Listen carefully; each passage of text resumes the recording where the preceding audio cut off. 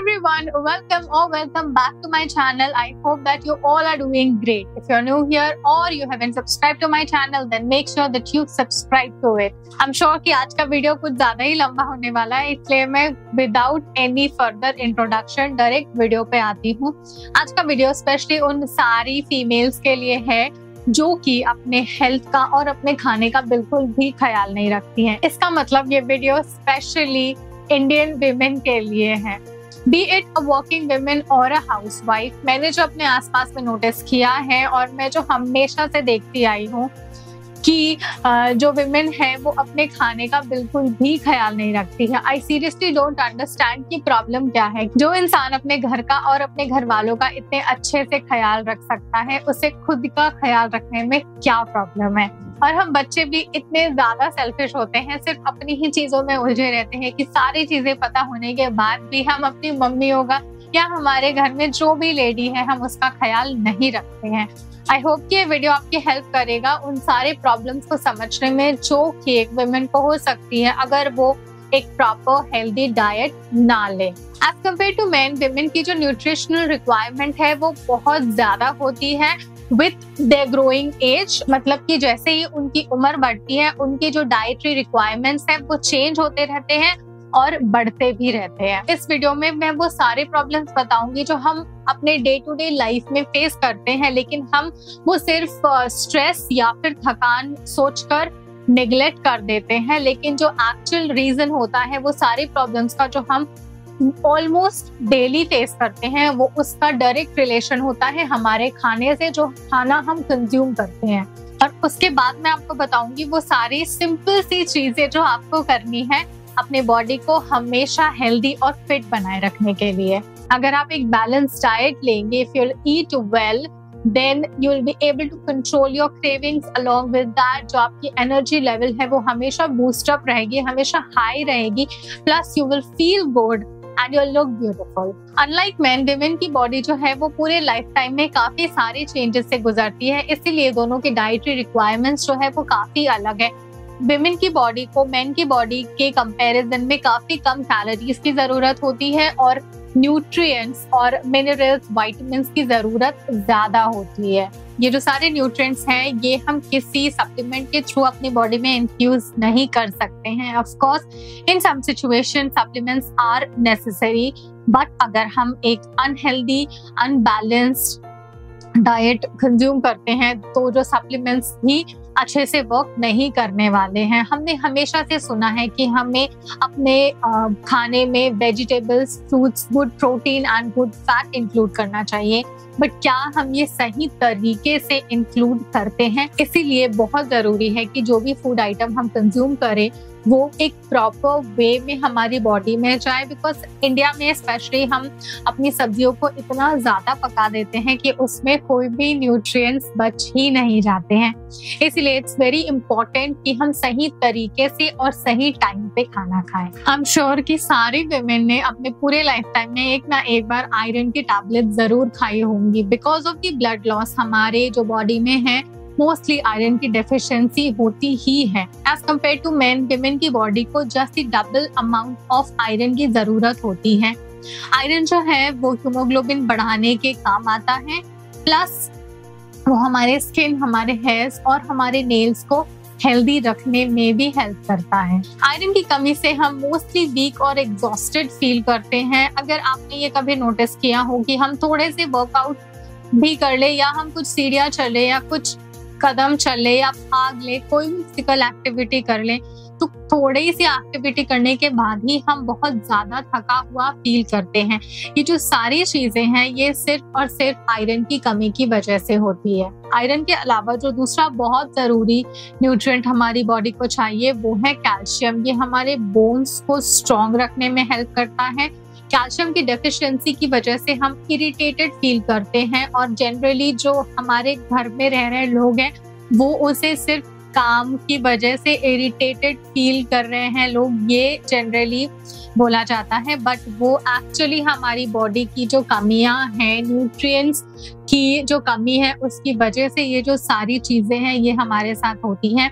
Along with irritation हमें anxiety और depression की भी प्रॉब्लम फेस कर सकते हैं। अगर आपके पीरियड्स के टाइम पे आपको ब्लोटिंग क्रैम्पिंग या फिर फिटिंग यानी कि थकान महसूस होता है तो ये जो सारे प्रॉब्लम्स है, ये भी एक बैलेंस्ड हेल्दी डाइट से आप इजिली सॉल्व कर सकते हैं। इस टाइम पे आपको आयरन जिंक और calcium content food items consume करने चाहिए। फ्राइड फ़ूड नहीं खाना है शुगर एंड सॉल्ट भी कम कंज्यूम करना है। एंड मोस्ट इम्पोर्टेंटली कैफीन और अल्कोहल बिल्कुल भी आपको इस टाइम पे या नॉर्मली भी कंज्यूम नहीं करना चाहिए। लास्टली जो आज के टाइम पे विमेन्स के लिए एक बहुत बड़ा हेडेक बन चुका है, वो है इनफर्टिलिटी प्रॉब्लम पहले के टाइम से अगर हम कंपेयर करें तो आज के टाइम पे विमेन्स की ये प्रॉब्लम ज़्यादा बढ़ती जा रही है और इस इशू को हम रिजोल्व करने के लिए ये कर सकते हैं कि हम ऑर्गेनिक फ़ूड कंज्यूम करें।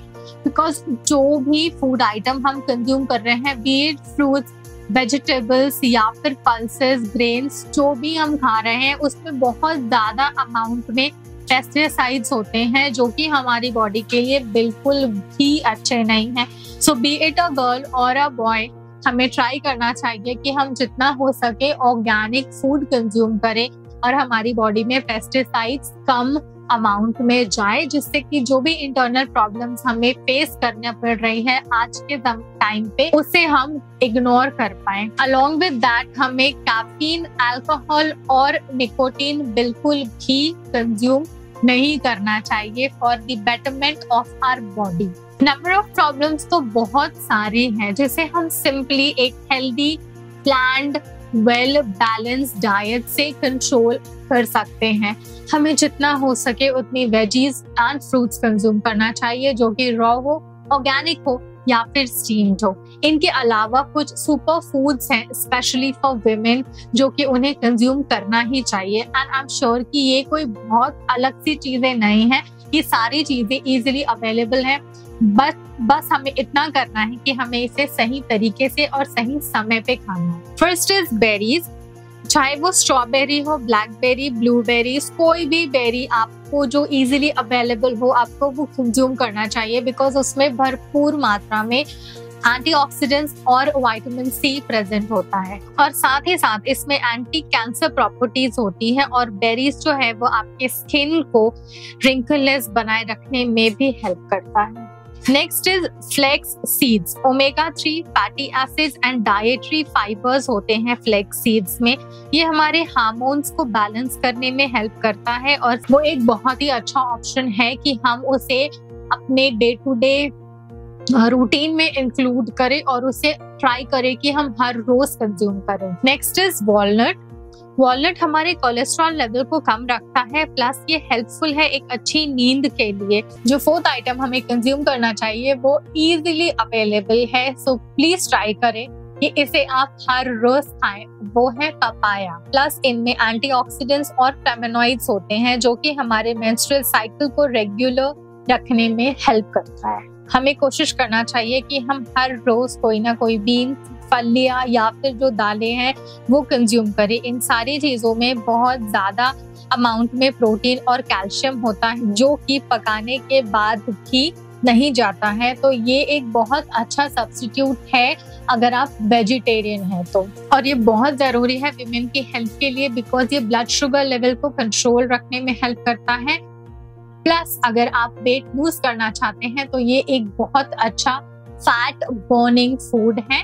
जो कि आपके फैट को बहुत जल्दी और इजिली बर्न करता है। Next is whole grain calcium और आयरन के साथ कार्बोहाइड्रेट्स भी इम्पोर्टेंट है हमारी बॉडी के लिए। इसीलिए इम्पोर्टेंट है कि ना सिर्फ़ राइस खाकर हम कार्बोहाइड्रेट कंज्यूम करें बिकॉज़ अलोंग विद कार्बोहाइड्रेट्स उसमें फैट भी होता है जो कि हमारी बॉडी के लिए बिल्कुल भी अच्छा नहीं है। सो इट्स वेरी इंपॉर्टेंट कि हम गुड कार्बोहाइड्रेट्स कंज्यूम करें, जिसके लिए हम खा सकते हैं quinoa millet oats, brown rice, whole grain, जो कि लो इन फैट होता है और इसमें फाइबर्स की मात्रा ज़्यादा होती है। तो सातवीं जो चीज़ है, वो है दही।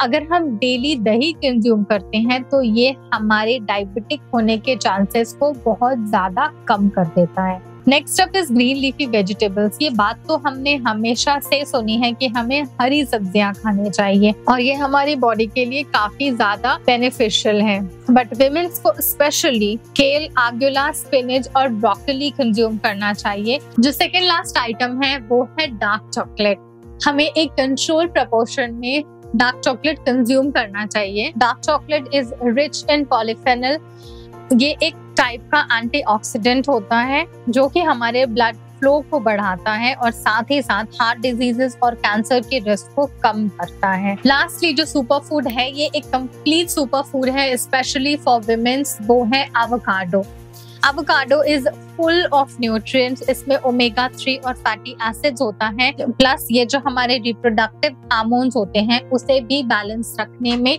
हेल्प करता है. So yes that's it for this video I hope that आपको वीडियो पसंद आया हो. अगर आपको वीडियो पसंद आया हो तो जो चीज़ें मैंने आपको बताई हैं, वो फॉलो करें और हेल्दी रहे. अगर आपने चैनल को सब्सक्राइब नहीं किया है तो प्लीज़ ऐसे ही वीडियोस देखने के लिए मेरे चैनल को ज़रूर सब्सक्राइब करें वीडियो को लाइक करें. और अगर आपको इसमें कोई बेनिफिशियल चीज़ नज़र आई हो तो प्लीज़ इसे शेयर करें उन सारी विमेंस को जो कि आपके हिसाब से अपना ख्याल नहीं रखती है।